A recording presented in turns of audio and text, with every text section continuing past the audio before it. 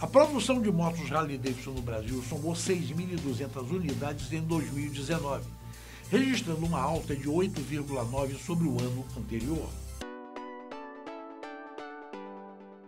Os licenciamentos totalizaram 6.100 motos, anotando acréscimo um pouco menor, de 5,8%. Foi o terceiro ano seguido de alta tanto nas montagens como em venda.